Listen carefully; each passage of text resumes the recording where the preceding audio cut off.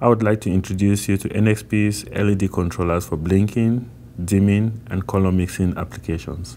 An LED controller is used to offload the CPU from blinking and dimming operations so that the CPU may perform other tasks. The LED controller may be programmed with the blink rate and or dim pattern of each individual output. LED controllers are used in applications requiring status indicators where LED needs to be turned on or off or blink at a certain rate to indicate a particular status. They may also be used as dimmers in keyboard or LCD backlighting applications or for controlling brightness.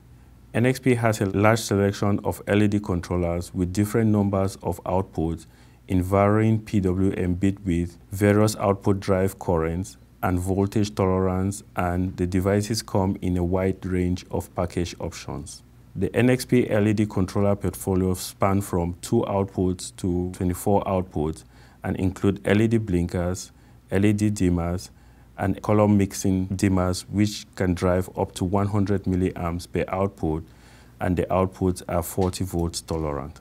Constant current LED controllers are used in applications that require precise color and LED brightness, hence constant current output with varying supply voltage. Such applications include keypads and LCD backlights, LED matrix, and color mixing for decorative lighting.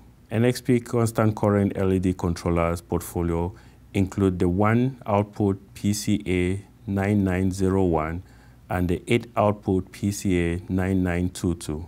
In addition, NXP has several constant current LED controllers in development and will be available shortly. The PCA 9633 is a fast mode plus I2C bus controller, 4-bit LED driver optimized for red, green, blue, amber color mixing applications.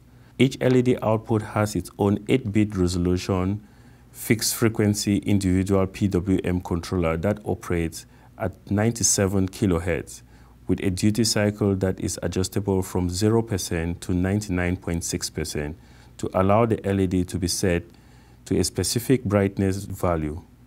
A fifth 8-bit resolution group PWM controller has both a fixed frequency of 190 Hz and an adjustable frequency from 24 Hz to once every 10.73 seconds, with a duty cycle that is adjustable from 0% to 99.6% that is used to either dim or blink all the LEDs with the same value. The brightness of the LED output light is altered by changing the pulse width of the LED driver output. To perform color mixing, the LED output frequency must be greater than 80 Hz. Also, the brightness of each primary color is controlled by the duty cycle of that primary color LED output. If the desired brightness is 100%, then the output is on all the time. If the desired brightness is 25%, then the output is turned on only for one quarter of the time and turned off for the remaining three quarter of the time. The result is that the human eye will see the sum of the primary color's average brightness. An LED controller may be used to drive three primary color LEDs and the controller can change the brightness of each of the individual primary colors so that their sum total of the individual primary color percentages will result in a wide range of colors. Dimming and blinking may be achieved by continuously switching the LED on and off. The difference between dimming and blinking is dependent on the frequency at which the LED is being switched on and off. For dimming, the LED must be switched on and off at a frequency faster than the human eye can detect.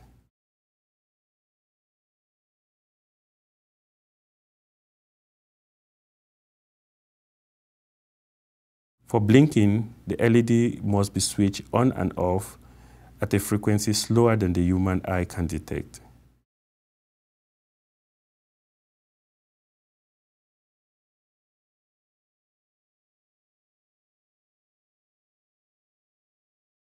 The 256-step group brightness PWM controller allows general dimming for all four LED output drivers using a 190 Hz PWM signal. The signal can go from fully off to maximum brightness, which is the default setting. Alternatively, the 256-step PWM controller may be reconfigured to switch with frequency programmable from 24 Hz to 10.73 seconds and duty cycle from 0% to 99.6%. With this setting, blinking is achieved in the application. For more information on NXP LED controllers, please visit the NXP website.